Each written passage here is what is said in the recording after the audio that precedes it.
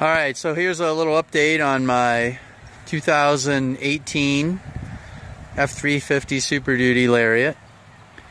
Um, almost a year old, um, bumping up against 17,000 miles. And it's springtime here, in northwestern Pennsylvania. Kind of some updates on how the truck's been running and some mileage updates and just overall impressions. Um, you know, still really like the truck. Uh, I think it's uh, an improvement over the 2012 model. Uh, it's quiet, uh, has more refinement to it. Um, I've used it to tow multiple times. I have about a 7,500 pound boat. Uh, I probably pulled that, I don't know, 14 times, 16 times. And, you know, typically it's about a 35 mile one way trip. I've also pulled it on some 100 mile trips. Did great. Uh, brake system controller integrated works very well. I also have a gooseneck trailer that uh, put my tractor on it and implements. I'm up near 18,000, 19,000 pounds. Did a nice job with that. I got my air horns on the truck and uh, compressor and tank. I also have the uh, mud flaps, the Dura flaps, in the front and the rear. And they do a nice job of protecting sides of the truck. Uh, this winter I did put some winter tires on it because stock Michelin's just are not that great in my opinion in the sloppiness that we have here in Pennsylvania. But uh, very happy with it. Also have the Truxedo Low Pro tonneau cover on it. Um, you know, mileage wise, if I am not idling it, so if I don't start it up, warm it up, uh, it looks like I'm around 15.7 to 15.9 in my commute back and forth to work, which is about eight miles. Uh, get it out on the road, you know, it starts creeping up over 18, 18 and a half. Get on a long jaunt, you know, I've seen over 20 on the uh, I call it the LIO meter, but the indicator telling you how many miles per gallon you're getting. But uh, yeah, seems like it's pretty good. Um, issues. Uh, let me think. The only thing I've had a problem with was actually the automatic tailgate. So this has an actuator inside. It's electronic tailgate.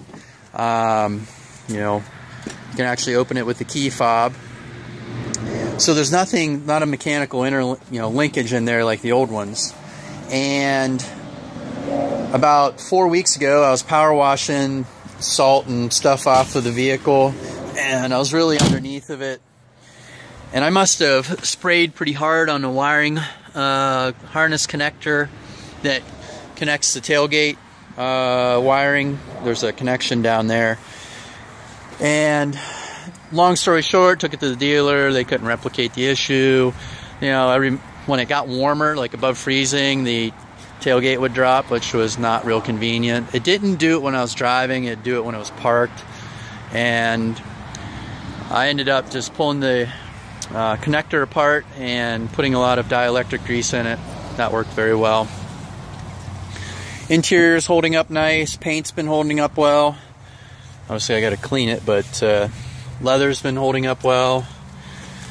I do condition that. I try to condition it every month. Sometimes in the winter that's a little more difficult to do, but um, yeah. Upfitter switches. Enjoying those. Kids are making a mess out of the back seat, but uh, we've enjoyed the vehicle. Um, try to think about some other things on it. I did change the oil at the oil minder recommendation. I think it was about nine, 9,000, 9,500 miles, something like that. And I was getting nervous because, uh, you know, it hadn't told me to change the oil. And so called the dealer. He's like, hey, just go by what the oil minder says. Okay. So it was like 9,400 miles. It kicked on. I changed oil. I sent my oil out for analysis to Blackstone Labs. Came back. They said Looks great, looks normal. Keep doing what you're doing.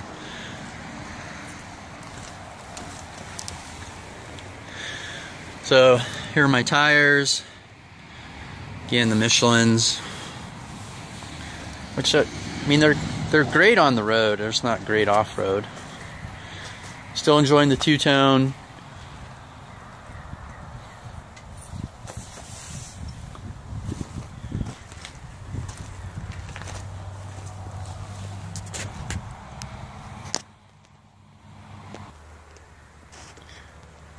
So I'd uh, still buy this truck again.